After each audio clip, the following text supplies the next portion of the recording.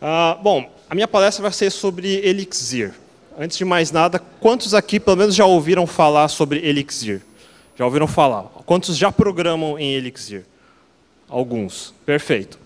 Então, a ideia da palestra é muito simples. Eu vou tentar demonstrar na prática o que o Renan acabou de falar sobre toda a teoria de programação funcional. Vamos tentar entender qual o valor de tudo isso agora. Obrigado, Nando. Bom, para começar, meu nome é Fábio Akita. Eu vou rapidamente das introduções, mais conhecido como Akita on Rails organizo a RubyConf Brasil em São Paulo, inclusive a gente acabou de confirmar a nona RubyConf Brasil para o ano que vem, dias 23 e 24 de setembro, então ano que vem já está garantido.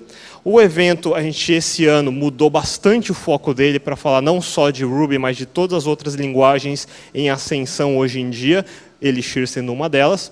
Uh, eu também sou cofundador de uma empresa chamada CodeMiner. A CodeMiner trabalha principalmente com projetos Ruby on Rails, Brasil e exterior. A gente tem mais de 50 funcionários em seis escritórios trabalhando com projetos Brasil e exterior. Então, a ideia nossa é trabalhar projetos Ruby on Rails principalmente, não só Rails, mas também todas as tecnologias front-end que o pessoal usa hoje em dia, desde Backbone, React, assim por diante. E focando agora em novas tecnologias também. Tem uma galera interessada em Go, tem uma galera interessada em Elixir. Agradeço muito ao Renan por ter feito essa palestra antes da minha, porque quer dizer que eu posso correr com a introdução sem ter que me perder muito tempo, e eu vou poder resumir uns quatro slides de uma vez só e chegar à seguinte conclusão. Que nem ele falou no começo da palestra dele, até o final dos anos 90, começo do século 21, a gente tinha uma forma de programar. Faça o software, Ano que vem vai funcionar mais rápido. Troca a CPU e já era. Depois de 2000, 2001, a gente acabou com, esse, com essa mamata, porque a última vez que a gente teve um grande salto de gigahertz foi com 1 gigahertz em 2001. Depois disso, a gente deveria já estar no 10 GHz. A gente não está ainda no 10 GHz. Estamos no 3 no máximo. O que aconteceu é que a gente gerou multicore. Agora, para resolver multicore, a maioria deve ter ouvido falar de programação com threads, multithreading. E multithreading, foi de novo o que o Renan explicou, posso passar toda a explicação de threads, é sensacional. Mas eu vou dizer uma coisa, não usem threads. A best practice de threads é não use threads. Ninguém sabe usar threads. Todo mundo faz porcaria quando usa threads.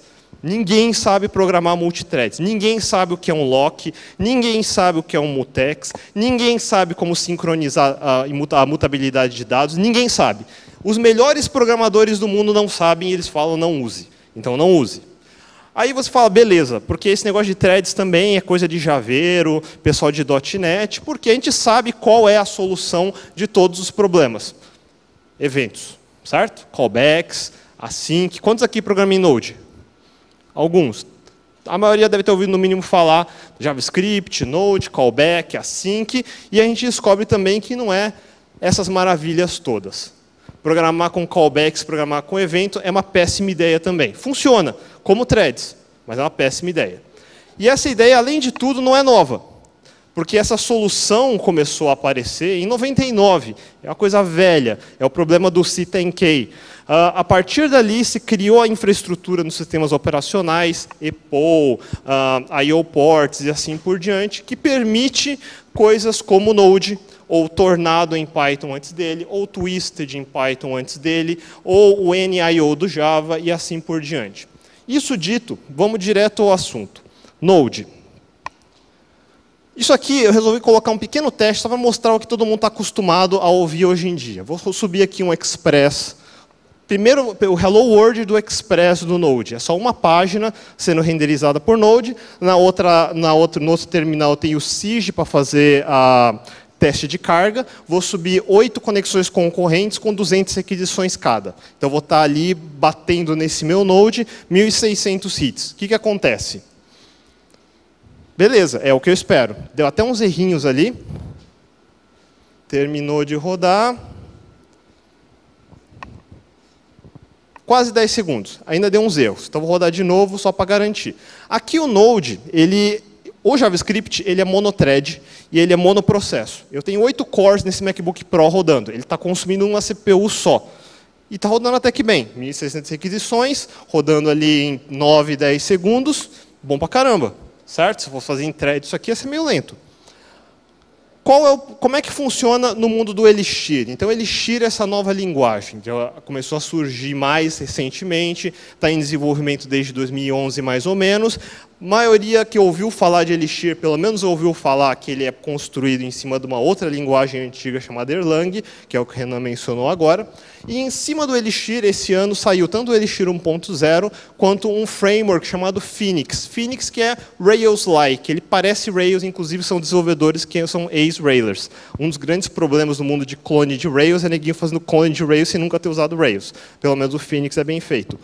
Com o Phoenix, o que, que acontece? Fazer o mesmo teste. É o mesmo, é o mesmo, mesmo tipo de aplicação, subindo um único templatezinho com um título e um parágrafo dentro dele. Uh, o Phoenix faz um pouquinho mais que o Express faz no Node. O que, que acontece? Então, vou rodar e ver o que acontece. Vai rodar, vai rodar. Notem algumas, algumas coisas interessantes. Aqui no log do Phoenix, ali rodou em 8 segundos. Pô, um pouquinho mais rápido que o Node. Não é tão grande coisa assim. Grande bosta, posso ficar no Node. Uh, uma das coisas que você pode notar, rodando pela segunda vez aqui, a gente calcula o tempo de resposta do Phoenix, isso aqui parece grande, 168, né? não é milissegundos, tá? isso aqui é nanosegundos, é um milionésimo de milissegundo. Então aqui a gente começa a calcular, senão vai ficar muito feio fazer 0.001, certo? Que nem aparece aqui, né? 0.001. Ah, e ele roda mesmo 1.600 hits, nesse caso não deu nenhum erro, foi bonitinho, consumiu meus 8 CPUs, então eu falo, pô, devia ter sido 8 vezes mais rápido. Mas é ok. Agora, qual que é o grande problema do mundo de event loops e reactors? Vou fazer uma, uma sacanagem aqui, vou abrir ali aquele meu express, vou colocar um sleep no meio do, do meu request, Considera no lugar do sleep, se eu tivesse que fazer alguma, algum processamento que demora algum tempo. O que, que acontece se eu vou rodar esse cara agora? Mesmo teste, só coloquei esse sleep antes de renderizar a página. Vamos rodar. Agora, só com uma conexão, com 10 requisições. Vai acontecer isso. Vai rodar o primeiro, vai rodar o segundo, vai rodar o terceiro, em sequência, porque isso é monothread, porque isso é um event loop, porque isso é um reactor. Reactor é a forma mais rudimentar de você fazer multiprocessamento e multiconcorrência, aonde você só pode suportar uma única thread. Esse é o jeito mais rudimentar, tem jeito melhor de fazer. Como é que o Phoenix se suporta se eu fizer a mesma coisa e colocar um sleep de um segundo no mesmo lugar? Rodando o mesmo teste para uma conexão com 10 requisições, deu 2 segundos. Já voltou. Esse sleep não bloqueia. Ele não é um reactor. Ele tem a sync dentro dele, não é um reactor. Vamos brincar um pouco mais. Colocar 100. 100 também deu 2 segundos. 100 está muito fácil. Vamos colocar então, colocar vai duas simultâneos com 200. Vai demorar um pouquinho mais. 4 segundos. Não 10.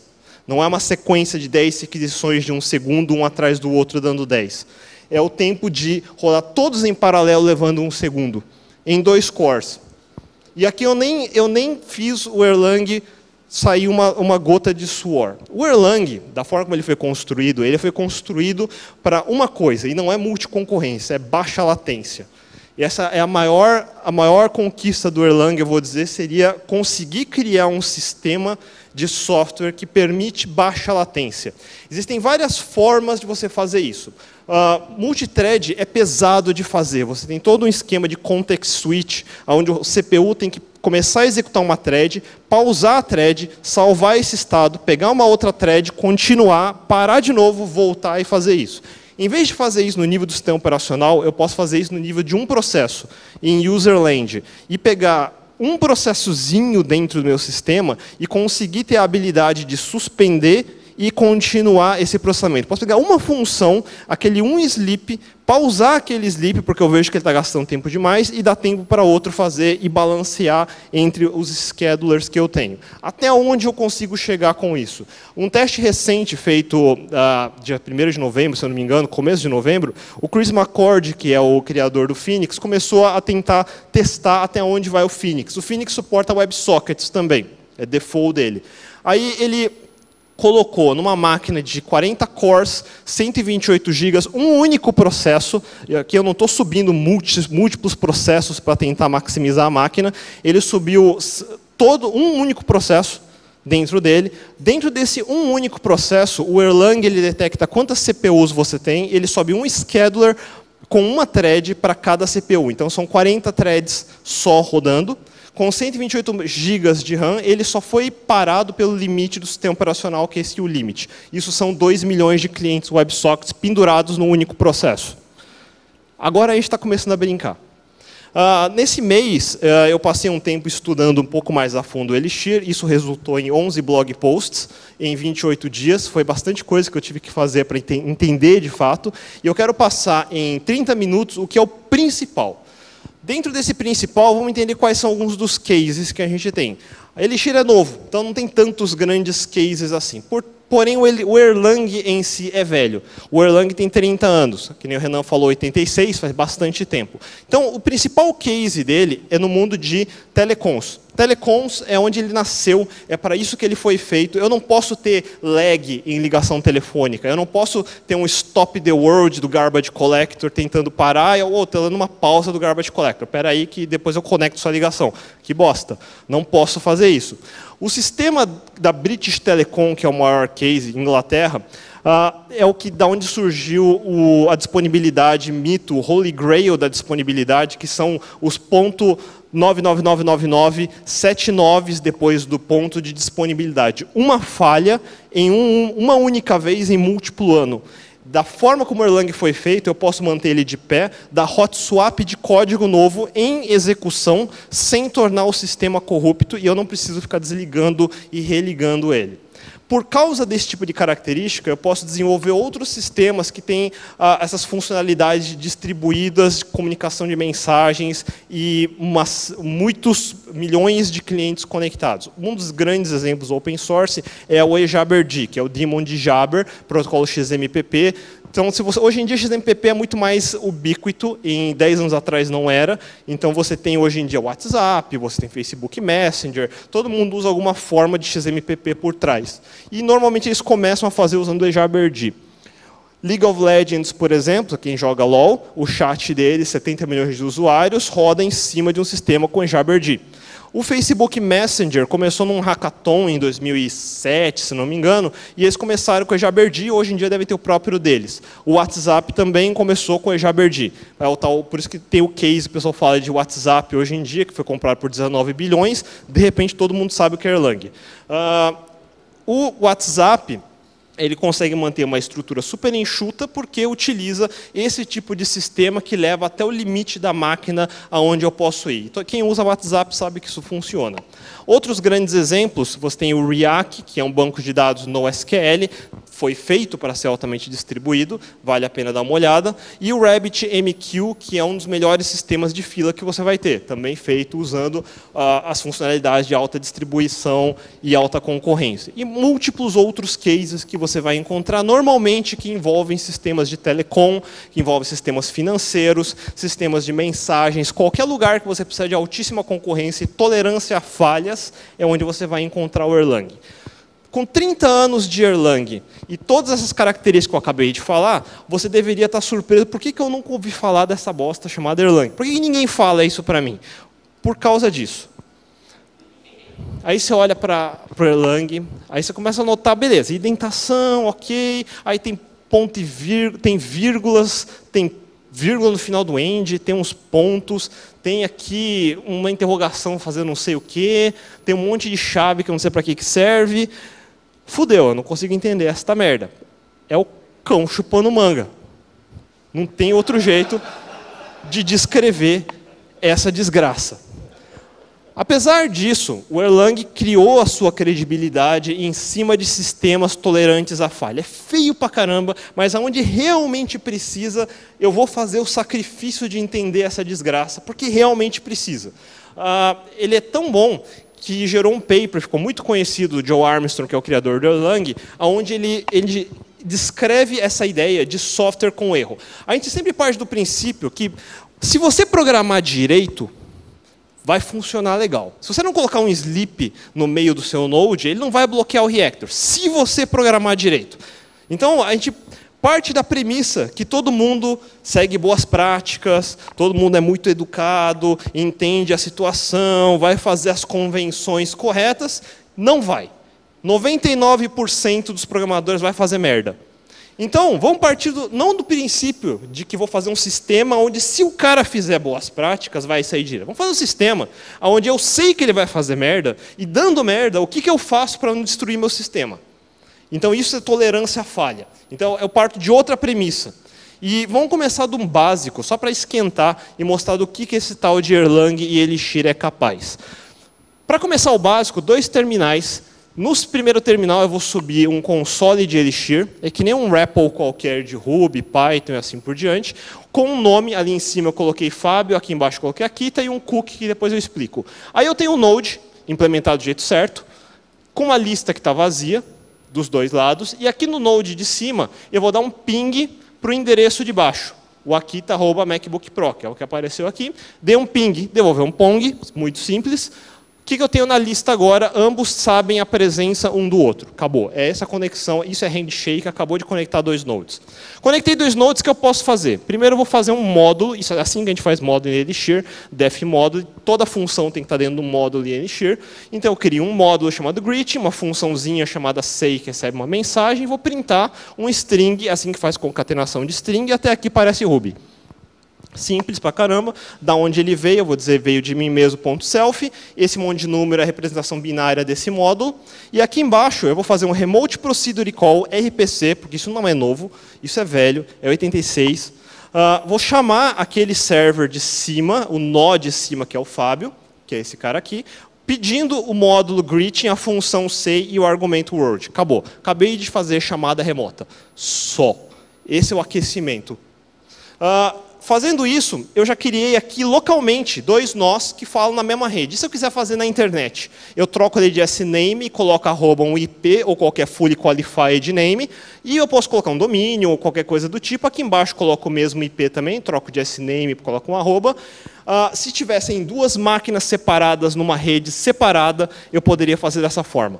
Subiu, vou dar o mesmo ping de baixo para cima, Dando esse ping, ambos agora sabem que o outro existe, ele devolve um pong, se não tivesse acessível, devolver um pang, é, só essa diferença.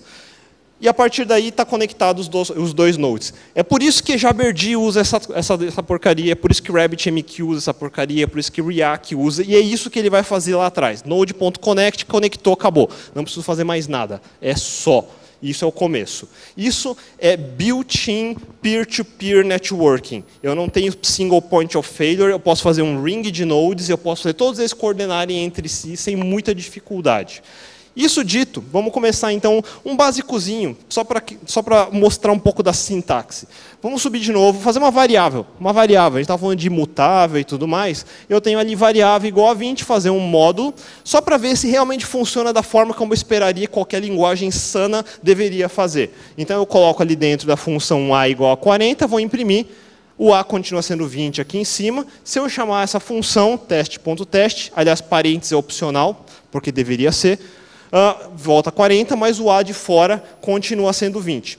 De fora, eu posso mudar a variável isso chama rebinding. Eu posso fazer rebound da variável, ou eu posso só fazer um match. Esse igual não é só assignment. Ele é uma expressão de verdade, onde esquerda e direita tem que ser igual. Para a esquerda ser igual à direita, B tem que ser igual a 1, C tem que ser igual a 3. É isso que ele está fazendo aqui. O efeito prático é que isso, isso se torna uma decomposição. E eu posso criar um padrão, por exemplo, um átomo OK, recebendo uma mensagem, e igualando com esse outro lado. Para isso ser verdade, essa mensagem tem que ser igual ao Word por isso que fica igual. E aí eu faço uma decomposição. E eu posso fazer isso com uma estrutura maior, colocar aqui um keyword list, colocar uma variável que eu não tenho ainda, e eu posso colocar aqui dentro uma segunda expressão que tem que ser igual, para ser verdade, message tem que ser igual ao word. Isso é pattern matching. Pattern matching é uma, uma das coisas que está no coração das linguagens funcionais, principalmente como Erlang, como Clojure e assim por diante. Uh, pensa regular expressions, só que regular expressions é uma expressão regular com uma string, aqui é, uma, é um pattern com uma estrutura. Eu posso fazer pattern matching de estrutura e decompor uma estrutura complexa. Pensa que isso é extremamente útil na hora que você precisa pegar um JSON enorme e decompor, por exemplo. É trivial de fazer. Isso é pattern matching. O que mais eu posso fazer com pattern matching? É só uma brincadeira de fazer estrutura? Não, vamos dar uma olhada no exemplo mais prático do que eu posso fazer. Então, limpo aqui esse console. e vamos ver o que mais que eu posso fazer. Vou definir um novo módulo, de novo, o tal do greeting. Todo, todo teste Hello World tem que ter um greeting. Aí eu faço um método chamado hello, que tem um pattern como argumento, que recebe uma keyword list que tem um átomo chamado name e vai ser uma variável dentro chamado name. E vou simplesmente concatenar ali dentro essa string. Vou fazer um segundo método igual, com a mesma aridade que a quantidade de argumentos, com uma, um outro pattern de estrutura. Um recebe name, outro recebe last name. Inclusive, esse jeito de escrever esse jeito de escrever é o mesmo. São dois jeitos diferentes de escrever a mesma coisa. E aqui embaixo uma mensagem diferente caso venha um átomo chamado last name. Aí eu vou pegar o last name, concatenar na string e beleza. Feito isso, já posso chamar o método. Então, módulo.method, esse é o formato. Ponho ali o meu, a, minha estrutura, que é name e fab, ele faz o primeiro. E se eu fizer last name e colocar aqui aqui, ele vai bater no segundo. Eu posso fazer múltiplos métodos, isso não é overloading de métodos, porque overloading seria quando tivesse múltiplos argumentos diferentes, quantidades diferentes, por exemplo, ou tipos diferentes. Aqui é o mesmo método, com a mesma aridade, mesma função, na verdade. Uh, isso a gente chama de call by pattern. A gente está acostumado a fazer call by method, a gente está acostumado a ter uma tabela de métodos e buscar no índice de métodos qual método eu vou chamar. Aqui eu chamo por padrão. Em vez de fazer um único grande método que recebe recebe um argumento genérico e dentro dele eu faço um monte de if, else, if, else, if, else para fazer alguma coisa, eu posso decompor em múltiplas funções, fica mais fácil de entender o que cada um faz. Uh, além disso, agora vem a parte principal. Isso foi só para aquecer. Agora vem a parte mais importante. Dentro do, do, Erlang e do Elixir, eu tenho uma segunda forma de rodar as coisas. Primeiro, vamos identificar quem eu sou. Self não é um objeto, é uma representação de um PID, é um Process ID e eu posso mandar mensagens para um Process ID.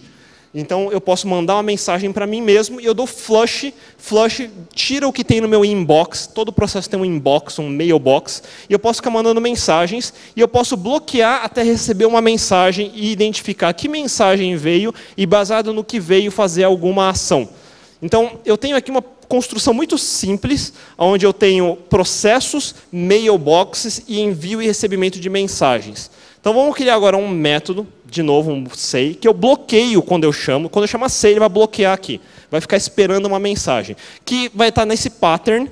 Eu vou esperar um pattern como esse, vou pegar a decomposição, que é esse message, fazer a concatenação de novo, muito simples.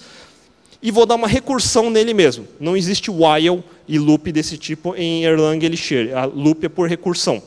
Feito isso, eu tenho um módulo. Se eu chamar o método direto, ele vai bloquear tudo. Agora, eu posso chamar esse método dentro de um segundo processo. Para chamar um segundo processo, dou um spawn. Eu dou um spawn numa função anônima que vai executar a função say aí ele me devolve um PID, e eu posso checar que esse PID está vivo, porque ele está esperando uma mensagem, e eu posso mandar uma mensagem para aquele PID, dentro daquele pattern que eu tinha mandado. E ele me devolve uma resposta, dá um loop nele mesmo, uma recursão, bloqueia e fica esperando uma segunda mensagem. Recebeu, printa, bloqueia, porque ele chama ela mesma de novo, dentro daquele segundo processo. Então, a partir daqui, eu fico mandando mensagem e ele é um serviço. É uma função que está dando recursão nela mesma, num processo separado, espera uma mensagem dentro do mailbox, que a gente chama de run queue, uma fila de execução. Essa run queue recebe a mensagem, dá um trigger naquele processo, naquele bloco de receive, recebe, checa se o padrão é aquele, executa uma ação e recurso, faz uma recursão nela mesma. Em Erlang, esse spawn gera uma coisa chamada processo. Uma outra linguagem disso, ele gera uma green thread. Então, eu tenho uma estruturinha dentro do único processo, dentro de uma única thread, um processo de execução interna chamada green thread.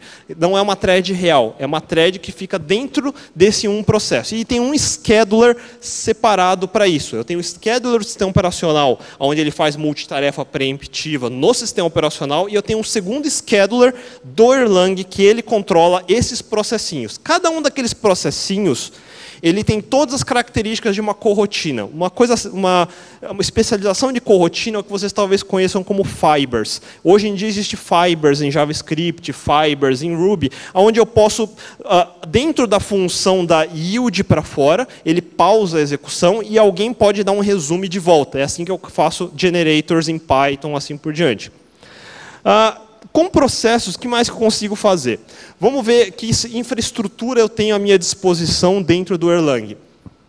Então, eu posso ter um módulo chamado process com uma série de métodos, eu posso listar os processos do sistema. Tem aqui 57 processos, se não me engano, 40, não, 43 processos. Eu posso dar um count numa lista, isso é um módulo chamado enum do Elixir. Ah, agora eu vou criar de novo um módulo, sempre criando um módulo, facinho. Vou criar agora um contador.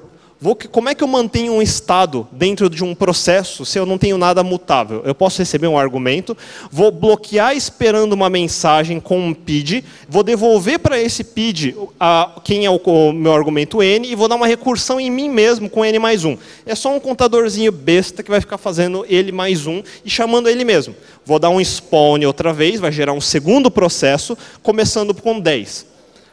Agora eu posso mandar uma mensagem nesse formato, que é uma tupla, com um read, e o meu PID desse console, que é o self, e ele vai devolver quem é a contagem atual. Se eu der flush, é o 10. Se eu der de novo, vai devolver agora um 11. Se eu der de novo essa mensagem, vai devolver um 12. E eu estou mantendo dentro daquele processo estado via recursão. Simples, é um conceito muito simples. Agora eu posso pegar, fazer um mapeamento num range de 1 até 100 mil, só para ver até onde eu posso ir. Então, tem ranges, que nem tem em Ruby. Uh, números eu, tenho, eu posso separar um milionésimo com underline. E dentro dessa lista, eu vou iterar por essa lista de 1 a 100 mil, pegando um item de cada vez, 1, 2, 3, 4, e vou dar um spawn naquele, naquela função de contador que vai ficar bloqueando nela mesma, 100 mil vezes. Tenta criar 100 mil threads e ver se sua máquina aguenta sem cair de joelho. Uh, criei 100 mil threads. Vamos ver se tem 100 mil threads aqui. Vamos dar um count no process list. O process list 100.044. Tem aquele PID que eu criei antes, mais os 43 que tinha antes. Vamos checar se esses PIDs estão vivos, são processos que estão vivos. Faço um map de novo nessa lista de PIDs, recebo um PID de cada vez, devolve true. Todos eles estão vivos, aguardando mensagens. Agora eu posso, além de tudo, posso matar esse processo. Eu posso forçar ele a morrer eu posso mandar uma mensagem que é kill. É como dar kill menos 9 num processo. O process list é como se fosse um PS no Linux. E aqui é um kill menos 9. Agora, se eu checar se está todo mundo vivo, está todo mundo morto. Se eu checar quantos processos existem no sistema agora, volta os 44 com aquele primeiro PID ainda existente, eu posso até checar o primeiro spawn que eu dei está lá ainda, true está vivo, recebendo mensagem eu consigo criar processos e matar processos dentro de, uma, de, um processo só de Erlang. Então, tem um processão chamado Erlang. Dentro dele, eu crio vários processinhos, ou green threads. Cada um desses processinhos, ele fica fazendo o trabalho dele, totalmente isolado um do outro. Um não tem efeito colateral sobre o outro, porque eles não compartilham nenhum tipo de estado. E o que tem dentro dele é estado imutável. Ele não prende um socket para fora, ele não prende nenhum ponteiro para outra estrutura, de tal maneira que se eu matar um processo, eu não torno meu sistema corrompido, que é o que acontece em qualquer outro sistema, onde você dá um erro e eu tenho que tratar o erro. Esse conceito de poder agora, inclusive mandar um kill, chama-se asynchronous exceptions. Isso é crucial. Guarda só isso se você quiser, porque nenhum outro sistema é capaz de fazer isso. É simplesmente impossível. Por que impossível? Porque todos os outros têm estado mutável. Toda vez que tem estado mutável, eu, preciso, eu tenho uma árvore de dependência, não só uh, daquele, da função rodando, mas de toda a estrutura atrelada a todos os valores que estão lá dentro. Se eu pegar em Go, por exemplo, Go aceita ponteiro para dentro. Eu não consigo matar um processo, uma Go rotina rodando. É impossível fazer isso. Erlang é o único que consegue fazer asynchronous exception a ideia de fazer kill menos 9 num processo. E é extremamente importante fazer kill menos 9 num processo. Por quê? Então, agora a gente vai chegar na parte principal de tolerância à falha.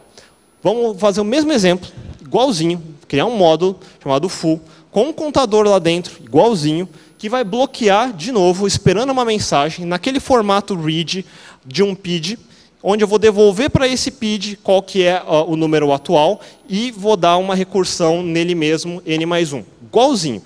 Só que agora eu vou fazer uma, um segundo pattern que eu espero, um block qualquer, que vai dar um raise numa exception.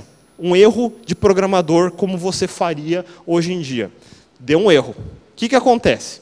Então, se eu der agora, subir esse contador, mesma coisa, estou dando spawn no processo, checo se está vivo, Está vivo, bonitão, esperando uma mensagem.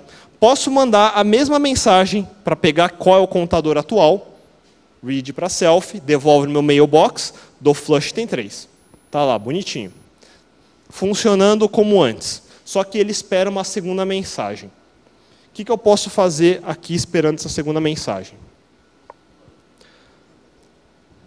Vamos linkar o console, que é um processo, com aquele PID. Primeiro, existe esse conceito de linkar e monitorar um processo. Um processo pode linkar a outro.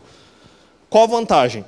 Agora eu vou dar um, uma mensagem de kill menos 9, o tal dar um exit naquele PID, mandar a mensagem kill. Se eu der essa esse, essa coisa agora, o console EX vai morrer. Mas eu posso dar um flag, eu posso setar o console, esse processo, para capturar, para capturar esse exit. E a hora que eu mandar a mensagem blá, que emula um erro de programação, o que, que vai acontecer? Aquele processo vai morrer. O processo morre. O processo morre e o processo que está linkado recebe no mailbox dele uma estrutura dizendo aonde morreu, como morreu. Morreu. Se eu tentar mandar, se eu olhar para o meu selfie, que sou eu mesmo, ele continua o mesmo PID. Nada aconteceu com esse processo. Eu, eu consigo linkar processos e eu consigo saber o que acontece com o processo que eu criei. Eu tenho esse controle. E eu consigo, via pattern matching, extrair tudo o que aconteceu. Para onde mais eu posso ir? Vamos agora entender mais abertamente o que é o Erlang. Ele é um sistema operacional completo. Esse observer vem por default, é built-in. Erlang versão 18, ele reconhece meus 8 CPUs, ele tem uptime, porque não foi feito para cair. Ele tem esse máximo de processo que eu posso subir, ele pode ir até 16 bilhões, é o limite, se a máquina aguentar. Tem o run queue, que é aquele mailbox geral. Eu tenho a lista de processos, o PS lá, rodando todos os processos do sistema. Eu tenho aqui CPU, memória, eu tenho um scheduler para que é uma thread em cada core do meu sistema, foi isso que eu falei. Oito cores tem oito threads e oito schedulers fazendo nada. Então, idles esperando alguma coisa acontecer. Agora eu vou fazer aquela mesma coisa e vou fazer de novo gerar os 100 mil processos. Gerei os 100 mil processos. Copy-paste fica mais rápido deu um spike em alguns schedulers, eles foram balanceando entre eles para criar os 100 mil, criou 100 mil, aí agora eu tenho 100 mil processos, mais os, os iniciais, criei. Mesma coisa, posso matar os processos, e eu tenho esse controle visual. Só em outro, o único sistema que eu já vi algo parecido com isso, que instrumentação, seria num Java. O Java tem um bom sistema de instrumentação para ver o que acontece. Então eu consigo checar, caiu 100 mil, voltou aos 59, deu um spike aqui, ele matou todos os processos e mais, cada processo tem o seu próprio garbage collector. Não é um garbage collector global, é por processo. Ele não tem stop the world. Cada vez que ele para é minúsculo, porque é um processinho só. Agora eu vou fazer um módulo, até agora todos os módulos foram meio estúpidos, vou fazer um mais estúpido ainda. Fazer um módulo bem estúpido, que a única coisa que ele faz é receber um argumento com uma mensagem, ele vai dormir por um certo tempinho, 500 milissegundos, e imprimir uma mensagem, dar um loop nele mesmo, vai ficar repetindo a mesma mensagem de 500 em 500 milissegundos. Meio, meio segundo vai ficar repetindo. Um método besta só para fazer um repeat. Aí eu vou criar dois processos, dar dois spawns com uma função anônima, assim que a gente faz função anônima, chamando aquele método com uma mensagem, que vai dar recursão nela mesma, e um segundo processo vai fazer a mesma coisa com outra mensagem, só. Stupid, repeat, Pronto, vai começar agora, posso chamar o stupid.repeat, vai dar spawn nos dois processos, que vai executar esse método recursivo, que de 500 500 milissegundos fica ali imprimindo coisa no console. Uma coisa besta. Isso é só para mostrar o que acontece no, dentro do Observer. Dois schedulers começaram a mexer, no final ficou um scheduler só, fazendo o process switch entre cada um deles. Não está usando, por que, que não está usando um processo em cada thread? Porque ele sabe que não precisa, é ridículo isso, é bem estúpido. Ele não tenta usar threads a mais que não precisa, porque processadores modernos conseguem desligar cores caso eles não estejam sendo usados. Portanto, se você estivesse usando aleatoriamente todos eles, eu ia estar fritando o CPU à toa. Eu posso me desligar as outras sete threads que não estão sendo usadas. A CPU faz isso sozinho, o Erlang respeita isso. Aí subiu memória, desceu memória, eu começo a dar spike, eu, tenho, eu tenho um olhar em todo o sistema. Tudo isso que eu falei até agora, um processinho green thread, que tem um mailbox, que se comunica recebendo mensagens e enviando mensagens, é o que mais ou menos todo mundo chama hoje em dia de atores. Então, alguma vez alguém ouviu falar de atores? Se alguém aqui é de Scala, ouviu falar de ACA, ACA é uma cópia do Erlang, por isso que chama atores também. Uh, isso é atores, é só isso é atores. Essa é infraestrutura de controle de processo. Mas a maioria para na parte que recebe mensagem. Recebeu mensagem, bloqueou, recebeu um pattern de mensagem, chama um outro, manda uma mensagem para outro processo, isso é um ator. Isso sozinho não é útil ele só é útil se eu posso agora criar threads, linkar, criar processos, linkar processos, monitorar processos, checar os erros desse processo e matar processo. Porque se eu não puder matar um processo, eu não tenho um sistema robusto. Qual é o principal? No Erlang não tem try catch. Tem, mas a gente não usa. Eu consigo dar raise em alguma coisa. Eu não preciso, eu não, não é que eu não preciso, eu não devo usar try-catch em Erlang e, ou em Elixir. Try-catch é a pior construção que você pode usar. Ele é feito para sistemas rudimentares que não têm outra forma de tolerância à falha. Então, quando eu tenho um sistema de tolerância à falha, como funciona? Dá um erro num processo, morre. Deixa morrer. Porra, mas aí morreu, o que eu faço se morrer? Então agora vamos responder a essa pergunta. E aí vem uh, todo o core do que é o Erlang. Eu vou criar um, um módulo, agora presta atenção, vai ter umas coisas meio novas. Eu vou criar um módulo chamado pilha. Pilha todo mundo sabe, é a coisa mais idiota do mundo. Eu tenho uma lista onde eu posso dar push num item e eu posso dar pop de um item. Subiu, primeiro que entrou é o último a sair. Acabou. Isso é um stack. Vou criar um stack. Para criar esse stack, mesma coisa, cria um módulo. No Elixir, eu tenho behaviors, e aqui eu vou importar um behavior chamado Server. Pensa mixin de Ruby, incorporar funções. E eu vou criar callbacks, eu vou implementar callbacks. Quando esse Jane Server recebe uma mensagem chamada POP, ele vai chamar esse handle call, mandando o PID de quem chamou, e aqui vai, eu estou decompondo o argumento que ele mandou, que é o estado desse Jane Server. É assim que eu decomponho uma lista. Eu tiro a cabeça da lista e esse é o resto. Devolvo a cabeça da lista e incorporo o resto como estado desse novo Jane Server. Se der um handle cast, eu posso mandar uma mensagem call, que é síncrona, ou uma mensagem cast, que é assíncrona, mandando entrar um novo item, eu vou colocar esse item no topo da lista. Tem duas formas, foi isso que eu estava mostrando agora de fazer a uh, concatenação de array. Estou acrescentando o item na cabeça da lista e devolvendo para esse server. Agora eu posso pegar, fazer um pattern, onde eu vou receber um OK e o PID, quando eu der um start link num Jane Server que está neste módulo e dando início com este estado inicial. Esse é o hello. Devolver um PID. A partir daqui eu posso dar um call para esse PID, manda mensagem pop. Ele cai nesse handle call, tira a cabeça da lista, devolve e nova, a nova lista é a vazia, fica lá dentro. Eu posso agora mandar um cast para esse mesmo PID, mandando a mensagem push com o novo item, e agora ele vai pegar o estado atual e acrescentar dentro da lista. Simples, uma pilha. Uma coisa mais besta do mundo. Só que uma pilha meio feia. Né? Eu posso ficar agora dando pushes ali dentro, mandando mensagens. Assim que eu mando mensagens para um processo. É que nem eu estivesse fazendo tudo que eu fiz aqui, esse start link, é como se fosse aquele spawn e esse call é como se fosse aquele send. Só que em vez de eu fazer toda vez isso na mão, eu tenho uma infraestrutura por cima chamada Jane Server, que faz um monte de coisas por mim. Mas inicialmente pense com aquele mesmo spawn com aquele send. Isso dito, vamos melhorar um pouco esse stack. Como é que eu melhoro esse stack? Mesma coisa, vou dar copy paste agora agora, igualzinho aquele handle call, handle cache, só que agora eu tenho dois, duas APIs públicas, dois, duas funções que recebe de novo um PID e vai fazer aquele mesmo de server call. Só vai ficar mais bonitinho agora como é que isso funciona. Vou pegar um pattern de novo, pegar para pegar o PID do start link, vai subir aquele stack com valor inicial aqui, uma array de John, devolver o PID, posso agora chamar stack.push, não mais genserver.call, só que passando o PID de novo, vou mandando mensagem para ele. Ficou um pouquinho mais bonito como é a API atual. Vou dando push, vou dando pops ali dentro, mesma coisa, mesmo stack. Como é que eu posso ainda um pouquinho além?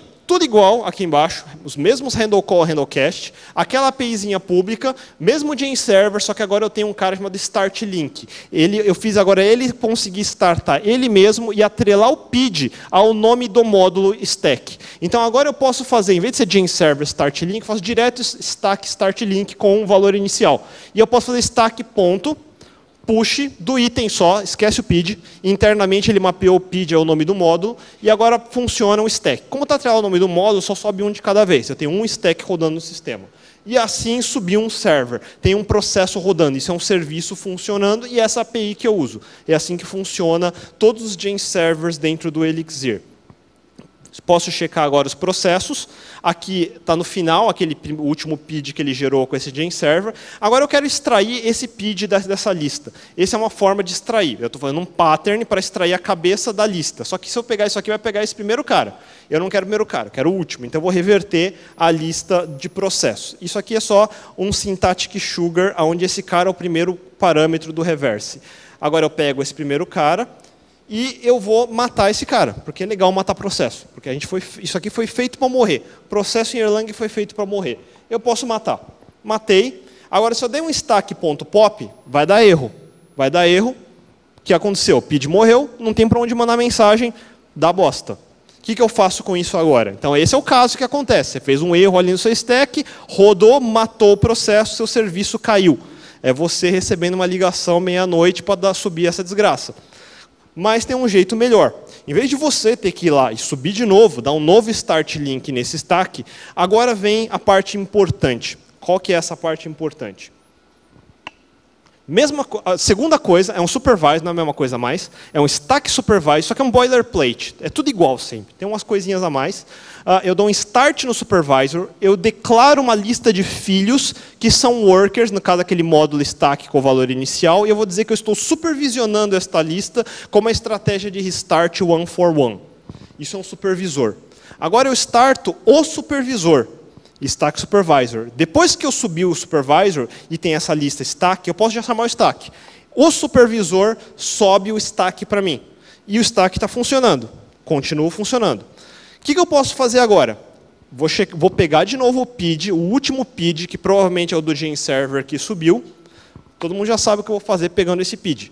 Certo? Só tem um motivo para pegar um PID hoje em dia já que os PIDs do sistema para chamar mensagem já estão incorporados ao Gen Server pelo nome do módulo, pego a lista, pego aquele head, vamos mandar um kill menos 9 naquele processo. Porque é legal mandar kill menos 9 no processo. Vou dar process exit, mandar um kill, devolve true, matei o processo 118. Posso checar se está vivo, tá, aquele processo morreu, mas eu posso voltar a chamar o stack, deveria dar aquele erro. Continua chamando. Está funcionando. Por que está funcionando?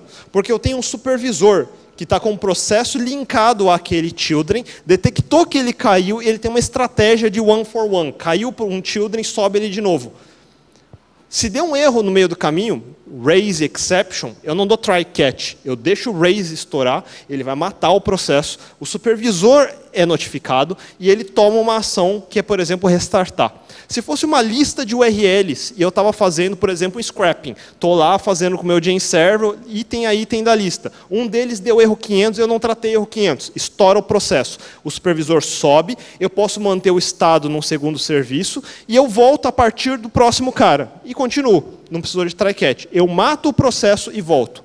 É assim que funciona o sistema de tolerância a falhas. E isso gera um modelo chamado árvore de supervisão, onde eu tenho esse papel de supervisor e supervisionado ou worker.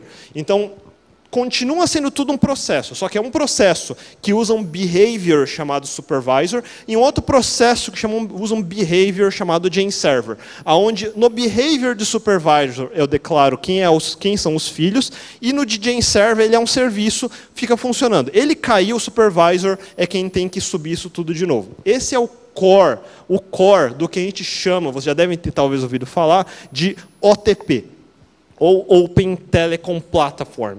Quem fala de Erlang, normalmente fala Erlang já incorporando OTP ou Erlang barra OTP. Erlang não existe sem OTP, OTP não existe sem Erlang. Não é opcional. Isso aqui não é um npm install que você faz. Ele vem. Você não tem escolha, você usa essa desgraça. Qual que é a vantagem de estar dentro da linguagem? Você não tem que escolher, ela está lá, você deve usar. Você espera que todo mundo vai usar. Não é o que você espera que alguém tem que adotar ainda. Uh, e OTP é um péssimo nome. Isso aqui é testamento de como programador é um péssimo animal para criar nome. Porque não é mais Open Telecom Platform. Isso aqui foi feito numa época para como é que eu faço uma infraestrutura de telecom que funciona tolerante à falha. OTP. Agora não serve só para telecom, serve para qualquer coisa que tem tolerância à falha. A tolerância à falha vem porque cada coisa que eu desenvolvo roda num processo e esses processos morrem. Foda-se se morre. Deixa morrer. O supervisor está lá. O supervisor é um pedaço de código minúsculo quase que você não mexe nele, porque a única função da vida dele é subir processo e derrubar processo, aonde ele consegue supervisionar árvores de workers, aonde um worker pode inclusive ser dependente do outro. Então eu mudo estratégia, em vez de ser one for one, manda restart all caso morre um, worker, eu posso mandar matar todo mundo, subir todo mundo de novo. Nunca fica estado inconsistente nesse negócio. Mais do que só esse sistema de supervisors e workers, ele provê uma série de serviços que já vêm embutidos. Por exemplo, tem um troço chamado ETS, que é o Erlang Term Server ou System, não lembro. Pensa main cache já pré-embutido dentro do sistema. E se de um processo eu precisar manter um estado, para quando ele morrer e subir, eu voltar àquele estado? Tem um serviço separado. Eu vou gravando nesse outro processo. Quando esse cara subir, eu peço para esse processo o estado. Isso chama ETS. Esse ETS é um main cachezinho, é um key value. Pensa um hashzinho que fica rodando em memória. Agora, e se eu precisar fazer esse, hash, esse hashzinho ir para disco? Tem o DETS, está no OTP também. E se eu precisar de um banco de dados com esquema distribuído, tolerante a falha, etc, etc, para suportar tudo. Tem um banco chamado Minija, que é feito em cima desse ETS e é parte do OTP. Tudo isso já vem pré-instalado, já vem pré-embutido, isso sobe. Dentro daquele ambiente uh, Elixir ou Erlang, eu já tenho acesso a todo esse serviço, só usar. Não tem que instalar nada, nada. Isso aqui não é um sistema que tem 1 GB de tamanho. É um processo que sobe com 20 MB e já tem tudo lá dentro, só. Agora, depois que eu fiz tudo isso, vamos observar uma aplicação Phoenix. O objetivo da palestra era falar de Phoenix, mas eu voltei um passo atrás. Vamos ver o que é o Phoenix. Vou subir uma aplicação Phoenix, aquela besta que eu fiz, que é só um scaffold, dar um observer de novo, observer start, processor Elixir, Elixir sozinho sobe com uns 20 MB, com o Phoenix sobe com uns 30. Não é porque o Phoenix custa 10, não. É porque eu tenho uma lista de applications. Tem o Cowboy, que é um servidor web. É como se fosse o Puma ou o Unicorn. Eu tenho uma infraestrutura de Elixir, tem ali um supervisor. Uh, eu tenho o X, também é um serviço pré-embutido, que é o equivalente Ruby Gems ou Maven. Eu tenho o IEX, que é o próprio console que eu acabei de subir com o supervisor, por isso que ele consegue reciclar ele mesmo. Esse é o core do Erlang básico quando ele sobe, é só essa application kernel. Logger, para mim, é uma application também, então eu tenho um logger separado que tem um supervisor, eu tenho dentro desse, desse sistema de aplicação mix, que é como se fosse um Rake, um Gradle, um Grunt, eu tenho a infraestrutura do Phoenix, que tem um supervisor, eu tenho o sistema de plugs, que é um supervisor, eu tenho o Postgres, que também tem um supervisor, você vai começar a descobrir que todo mundo dentro de uma aplicação Erlang tem árvores de supervisão. E a própria aplicação, finalmente essa aplicação. Começa com o supervisor, ele supervisiona dois outros supervisors, tem um endpoint, duas aplicações, um endpoint e um repositório, que é o Ecto. Esse repositório tem um pool que supervisiona esse monte de pool de conexões, por exemplo. Um processo por conexão, por exemplo. Aí no endpoint eu vou ter também o endpoint PubSub para channels de WebSocket e lá em cima eu vou ter todo um pool de conexões de HTTP que eu posso receber e já está aqui preparado todos os processos para receber conexão. Agora, o que, que, mais que eu posso fazer? Eu posso matar o processo daqui, do observer. Isso aqui não é só para só inspecionar, eu posso instrumentar. Eu posso matar um processo ou mandar mensagens do observer ou do console, da onde eu quiser. Esses processos estão à minha disposição para eu fazer o que eu quiser. Matei o processo, eu posso ficar matando o processo e o sistema continua funcionando. Ele sobe um novo PID, subiu um novo número de PID, subiu um novo número, vou matar outro aqui. Matei esse cara, vai subir, depois do 817, subiu 848. Subiu outro. O supervisor viu que caiu, ele queria mais um, criou mais um. Acabou. É assim que funciona. Deu um pau de conexão aqui. Vai, vai morrer esse processo. Não vai morrer o sistema. Uh, se você parar para pensar o que é uma aplicação Phoenix Web, ele é um conjunto de serviços, assim como é qualquer aplicação que eu faço hoje em dia. Uma aplicação Rails, por exemplo, ele tem a aplicação Rails, ele vai ter um Puma, que é um outro servidor, é um outro processo, ele vai ter um sistema de main cache, que vai estar separado também, eu vou ter um sidekick para rodar aplicações em background, são múltiplos processos, talvez em múltiplas máquinas. Aqui eu tenho um processo rodando multi-applications, são serviços, uma para outra. Então, o Phoenix consome o serviço de logger. O logger não sabe que existe Phoenix, só recebe mensagem de log. Eu posso mandar log de qualquer lugar. O Postgres pode mandar um log para esse logger. Não tenho nenhum problema com isso. São serviços ali. Não é biblioteca compartilhada com um ponteiro, uma referência. É um serviço recebendo, esperando uma mensagem. Ele é altamente desacoplado e isolado um do outro. A gente está num mundo de microserviços, se eu chamo o que, é, o que, se eu pego o que a gente chama hoje de micro, não é micro, eu chamo de gigante, são múltiplos, múltiplos grandes serviços que eu preciso ficar controlando. O que acontece se o microserviço cai? O que acontece se eu restarto? o sistema volta ao normal ou não volta. Eu não tenho ninguém supervisionando. Aqui dentro eu tenho multi-application, eu estou chamando de Yocto Service, porque Yocto é lá embaixo depois do micro, é basicamente isso que eu tenho. Então, uma aplicação Erlang Elixir é um conjunto de Yocto Services, vamos dizer assim. Se eu pegar então o Phoenix, ele é um conjunto de aplicações que subiu, todos supervisionados. Se eu pegar só o console do Elixir, o console do Elixir, ele também tem aplicações rodando, o próprio console dele mesmo, o logger e, o, e as, o runtime do Elixir. E se eu pegar só o Erlang, só o Erlang, a, a linha de comando ERL, que é o, o comando do Erlang, subir, ele sobe também só o kernel, que é ele mesmo. É um conjunto de aplicações. Com o que eu acabei de mostrar agora, essa é a parte mais importante. Essa é a parte Erlang da coisa. Eu nem parei para mostrar muito a parte Elixir. A parte Elixir vai ter uma série de bibliotecas padrões bem feitas, que vão lidar com coisas como maps, tem structs, tem records, tem comprehensions. Uh, eu não, nem mencionei que o código que eu faço, eu posso criar documentação testável. Eu faço uma documentação onde eu coloco um exemplo do aquele método e eu rodo o teste, ele vai rodar o comentário e executar o comentário. Então a documentação é executável. Dentro, isso é padrão dentro do Elixir. Uh, eu tenho type specs e behaviors. Eu posso co criar comportamentos encapsulados e reusá-los. Tem protocolos também que eu nem coloquei na lista. Uh, eu tenho toda essa infraestrutura de Jane servers e supervisors que no Elixir eles estão ainda mais comprimidos dentro de um pequeno pattern chamado agents e task. Eu posso subir um Jane server numa única linha para rodar uma única tarefa, uma lista de tarefas e um único agent que recebe estado dentro de um processo existem não só Jane Server, existe Jane Events, existem Jane FSM, que é Finite State Machine, você precisa fazer uma máquina de estado finito, eu tenho um Jane Server para isso. A linguagem Elixir suporta sigils, ele tem macros higiênicas, eu posso incorporar pedaços de código à abstract syntax tree dele, ou seja, eu posso pegar pedaços de código, embuti-los em runtime e rodar em runtime, são macros. Isso, com essas macros eu posso criar DSLs, e, como eu falei, no OTP a gente tem ainda o ETS, o DETS, o Minija e uma série de outras tecnologias de infraestrutura que vem de graça no OTP a gente deveria usar. Se eu pegar agora, por exemplo, um, um RabbitMQ da vida ou um EJBRD, eles usam Minija por baixo, eles usam todos aqueles sistemas de nodes, supervisors e processos. Se você olhar o código-fonte, você vai encontrar supervisors, você vai encontrar Jane servers, você vai encontrar essa mesma infraestrutura que permite isso de funcionar. Isso dito, e quanto às novas linguagens? JavaScript não serve para fazer isso. Não tem como fazer isso. É tudo global, é tudo mutável, é tudo compartilhável. É o pior design que você pode querer. O máximo que você vai conseguir fazer é uma coisa muito rudimentar, como eu falei antes, chamado Reactor. Só é o máximo que você consegue fazer. Rust acabou de sair, ainda está em desenvolvimento, suporte assíncrono dele ainda está em desenvolvimento. Uh, eu nem sei se ele tem corrotinas, eu não sei se ele tem a ideia de você poder suspender uma, um processo em execução. A maioria não tem esse suporte, portanto, uma única função que você faz pode bloquear o que você está rodando. O Go tem esse mesmo problema. O Go ele tem estado mutável compartilhado, não tem como.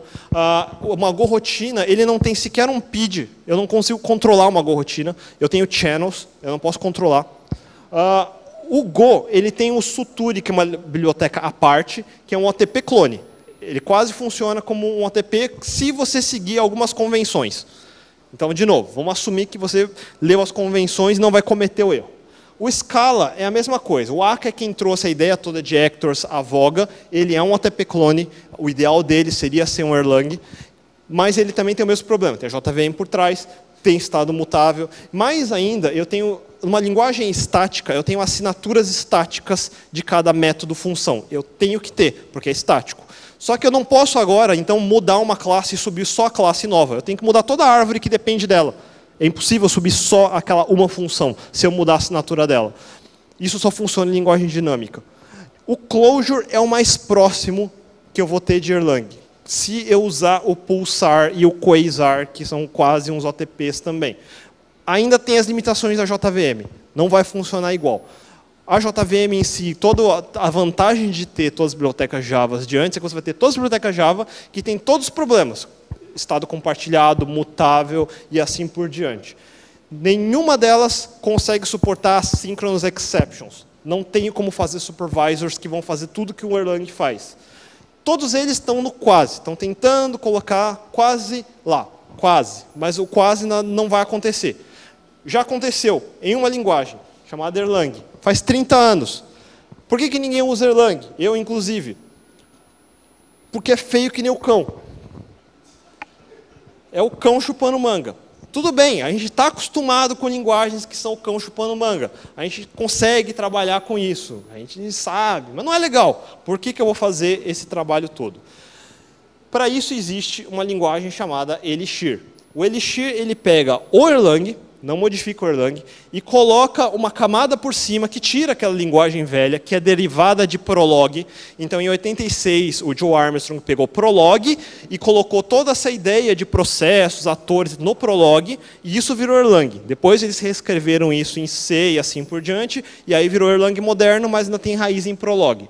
O Elixir, por outro lado, tem raiz em linguagens dinâmicas, Ruby, Python, assim por diante. Parece muito Ruby é, sem todas as partes mutáveis que eu tenho no Ruby.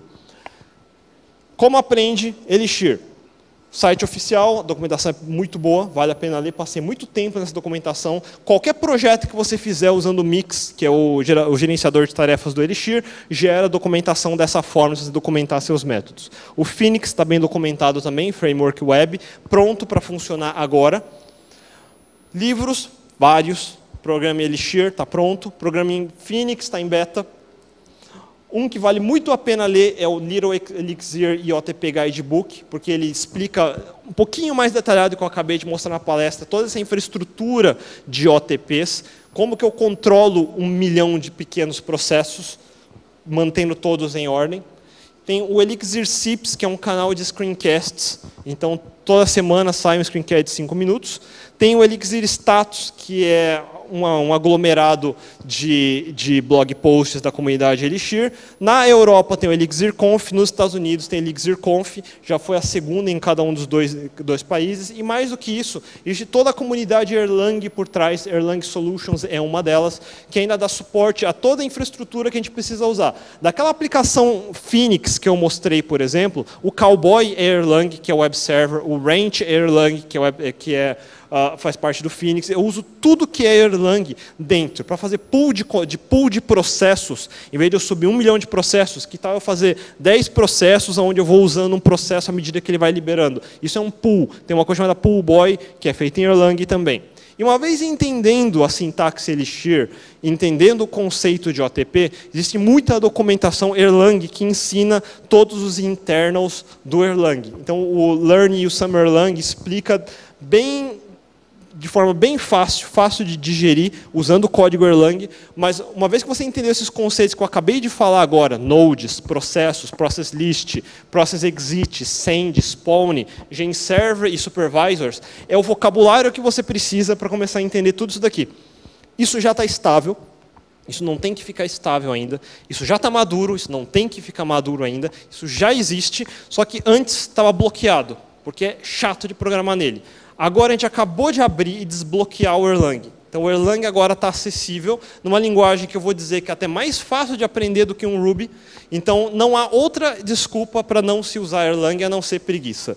Espero que vocês tenham gostado da introdução e motivados a usar um pouquinho mais de Erlang Elixir. Agradeço a todos por terem vindo. Obrigado.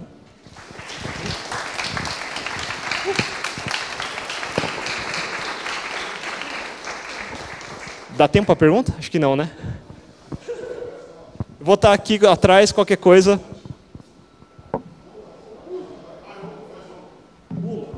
Uma pergunta.